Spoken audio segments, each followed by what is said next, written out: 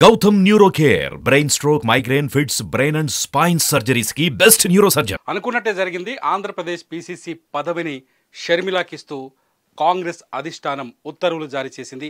కొద్దిసేపటి క్రితమే కేసీ వేణుగోపాల్ ఆ షర్మిలని ఆంధ్రప్రదేశ్ పీసీసీ అధ్యక్షురాలిగా నియమిస్తూ ఉత్తర్వులు జారీ చేశారు. పూర్వం ఉన్న పీసీసీ అధ్యక్షుడు గిరుగు రుద్రరాజుని సిడబ్ల్యూసి స్పెషల్ ఇన్వైటీగా నియమిస్తూ ఉత్తర్వులు జారీ చేశారు. గిడిగి రుద్రరాజు నిన్ననే పీసీసీ అధ్యక్ష పదవికి రాజీనామా చేశారు.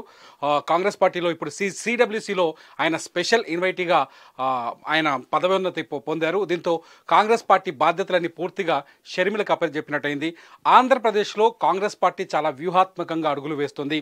వైఎస్ బ్రాండ్ని వాడుకొని ఆంధ్రప్రదేశ్లో మళ్ళీ విజృంభించాలని ఆంధ్రప్రదేశ్లో పూర్వపు స్థితి స్థితిని తీసుకురావాలని చెప్పేసి ఆంధ్రప్రదేశ్ కాంగ్రెస్ జాతీయ కాంగ్రెస్ ఆలోచిస్తుంది. ఈ నేపథ్యంలోనే వైఎస్ షర్మిలకి కాంగ్రెస్ ఆంధ్రప్రదేశ్ కాంగ్రెస్ బాధ్యతను అప్పగించింది. అంతేకాదు వైఎస్ షర్మిలకి కొన్ని టార్గెట్స్ కూడా పెట్టినట్టుగా తెలుస్తుంది. వైఎస్ షర్మిల కాంగ్రెస్ బాధ్యతలు తీసుకోవడంతో పాటు ఆంధ్రప్రదేశ్లో రాబోయే ఎన్నికల్లో పది నుంచి పదిహేను సీట్లు గెలుచుకోవాలని ఆ, షర్మిలకి ఈ బాధ్యతను అప్పచెప్పినట్టుగా తెలుస్తుంది. పది పదిహేను సీట్లలో కాంగ్రెస్ పార్టీ ప్రభావం చూపబోతుందని ఈ పది పదిహేను సీట్లలో గెలుపు ఖాయంగా కనిపిస్తుందని చెప్పేసి కాంగ్రెస్ అధిష్టానం అంచనా వేస్తున్నట్టుగా తెలుస్తుంది.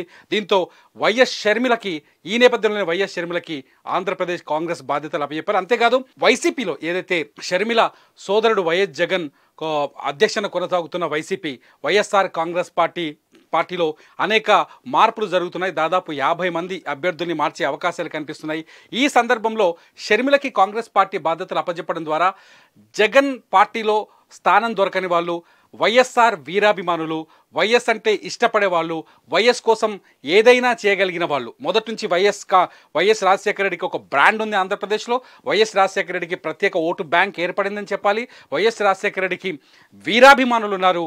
ఓటర్లలోనే కాదు రాజకీయ నాయకుల్లో కూడా వీరాభిమానులు ఉన్నారు. వాళ్ళంతా కొంతవరకు వైఎస్ జగన్మోహన్ రెడ్డిని అనుసరించారు. వైఎస్ జగన్మోహన్ రెడ్డితో ముందుకెళ్ళారు. అంతేకాదు మరికొంతమంది వైఎస్ అభిమానులు కాంగ్రెస్ పార్టీలో కొనసాగుతూనే ఉన్నారు. వైఎస్తో కలిసి పనిచేసిన వాళ్ళు కావచ్చు వైఎస్ అడుగుజాడలో నడిచిన వాళ్ళు కావచ్చు వాళ్ళంతా కాంగ్రెస్లో కొనసాగుతున్నారు. ఈ నేపథ్యంలో ఈ పరిస్థితిలో వైఎస్ షర్మిలకి కాంగ్రెస్ పీసీసీ బాధ్యతలు అప్పజెప్పడం ద్వారా వైఎస్ఆర్ కాంగ్రెస్ పార్టీలో సీటు దక్కని వాళ్ళు సముచిత స్థా న్యాయం దక్కని వాళ్ళు లేకపోతే సముచిత స్థానం దక్కని వాళ్ళంతా షర్మిల వైపు టర్న్ అయ్యే అవకాశాలు కనిపిస్తుంది ఎందుకంటే నిన్న మొన్నటి వరకు వైఎస్ జగన్మోహన్ రెడ్డి వెంట ఉండి వైఎస్ రాజశేఖర రెడ్డి అభిమానిగా ఉండి సడన్గా మనసు మార్చుకొని ఒకవేళ అవకాశం దొరకపోతే వైసీపీలో అవకాశం దొరకపోతే టీడీపీలోనో జనసేనలో చేరే పరిస్థితి లేదు. వాళ్ళంతా తటస్థంగా ఉండాల్సిన పరిస్థితులు ఏర్పడాయి ఈ నేపథ్యంలో షర్మిల కాంగ్రెస్ అధ్యక్షురాలుగా ఉండ ఉండటం వల్ల వైఎస్ దగ్గర వైఎస్ జగన్మోహన్ రెడ్డి దగ్గర అవకాశం దొరకని నాయకులంతా కాపు రామచంద్రారెడ్డి కావచ్చు లేకపోతే మంగళగిరి ఎమ్మెల్యే ఆర్కే కావచ్చు లేకపోతే ఇంకొంతమంది ఎమ్మెల్యే చాలామంది పేర్లు వినిపిస్తున్నాయి. వీళ్ళందరూ కూడా షర్మిల వెంట నడిచే అవకాశం కనిపిస్తుందని ఈ నేపథ్యంలోనే పది నుంచి పదిహేను సీట్లలో వచ్చే ఎన్నికలో విజయం సాధించవచ్చు మనం అని చెప్పేసి కాంగ్రెస్ పార్టీ భావిస్తుందని తెలుస్తుంది. ఈ నేపథ్యంలోనే షర్మిలకి కాంగ్రెస్ పార్టీ అధ్యక్ష బాధ్యతలు అప్పజెప్పారని తెలుస్తుంది. అంతేకాదు మొదటి నుంచి అందరూ మాట్లాడుకుంటున్నారు వైఎస్ జగన్మోహన్ రెడ్డికి షర్మిలకి మధ్య విభేదాలు ఉన్నాయని చెప్పేసి కుటుంబ తగాదాలు ఉన్నాయని చెప్పేసి ఈ నేపథ్యంలోనే షర్మిల తెలంగాణలో పార్టీ పెట్టిందని చెప్పేసి తెలంగాణ నుంచి తెలంగాణ అందుకని కాంగ్రెస్ పార్టీకి మద్దతు ఇచ్చిందని చెప్పేసి వ్యూహాత్మకంగానే పార్టీని కాంగ్రెస్లో కలిపిందని మళ్ళీ ఆంధ్రప్రదేశ్లోకి వెళ్ళి ఇప్పుడు పీసీసీ బాధ్యతలు చేపట్టిందని చెప్పేసి రకరకాల చర్చ జరుగుతుంది. ఇక్కడ ఒకటి మాత్రం నిజం ఏంటంటే వైఎస్ షర్మిల తెలుగు రాష్ట్రాల రాజకీయాల్లో ఒక చరిత్ర సృష్టించారని చెప్పాలి. ఎందుకంటే తెలంగాణలో వైఎస్ఆర్ తెలంగాణ పార్టీ పెట్టి వైఎస్ఆర్ టీపీని పెట్టి ఇక్కడ అధ్యక్షురాలుగా పనిచేసి వేల కిలోమీటర్లు పాదయాత్ర చేసి తెలంగాణలో నేను తెలంగాణ కోడల్ని అని చెప్పేసి తెలంగాణలో రాజకీయాన్ని మొదలుపెట్టిన వైఎస్ షర్మిల ఈ ఏకంగా ఆంధ్రప్రదేశ్కి వెళ్ళిపోయారు ఇప్పుడు.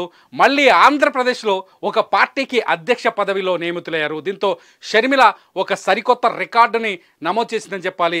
ఒక పార్టీకి తెలంగాణలో అధ్యక్షురాలుగా ఇంకొక పార్టీకి ఆంధ్రప్రదేశ్లో అధ్యక్షురాలుగా అంటే కోడలిగా తెలంగాణలో అలాగే పుట్టిన ప్రదేశంగా ఆంధ్రప్రదేశ్లో రెండు చోట్ల రాజకీయం చేసిన మొదటి మహిళగా వైఎస్ షర్మిలకి ఒక గుర్తింపు దక్కిందని చెప్పాలి. మొత్తానికి మాత్రం వచ్చే ఎన్నికల్లో వైఎస్ షర్మిల జగన్మోహన్ రెడ్డిని టార్గెట్ చేసుకునే అవకాశాలు కనిపిస్తున్నాయి.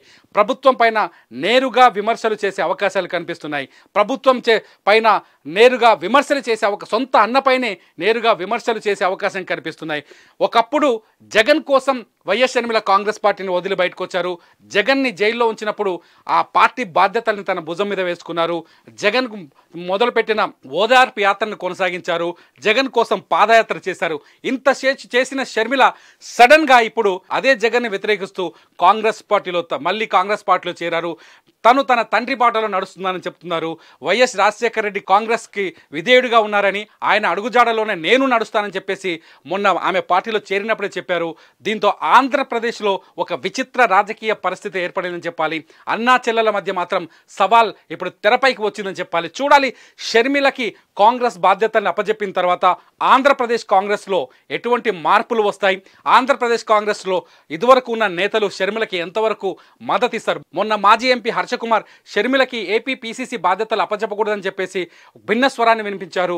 షర్మిలకి జగన్కి మధ్య ఏదో రాజకీయ ప్రయోజనం కోసం ఒప్పందం ఉందని మాట్లాడుకుంటూ వచ్చారు. ఇదంతా చూస్తుంటే షర్మిలకి కాంగ్రెస్ సీనియర్ నేతలతో ఆంధ్రప్రదేశ్లో ఎంతవరకు సపోర్ట్ దక్కుతుంది?